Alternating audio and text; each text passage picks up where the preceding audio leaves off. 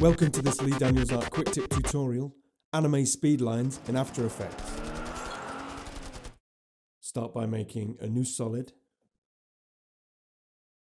In the Effects and Presets, select Turbulent Noise and add it to the solid.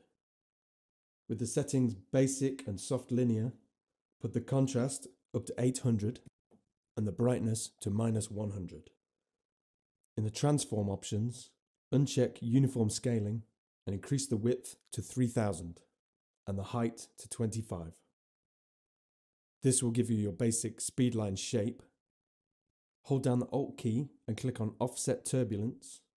And in the Offset Turbulence expression options, select the pick whip and drag it to the offset turbulence value.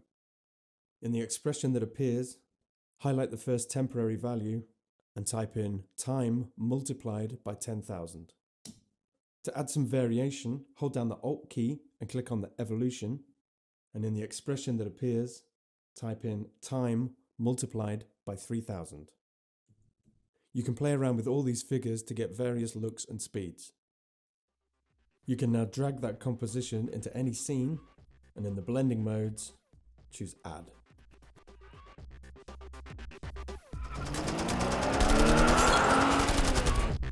Right, that's the end of this tutorial. Please subscribe to my Lee Daniels Art YouTube channel where you'll find examples of some of my animated shots, client work and news about upcoming tutorials.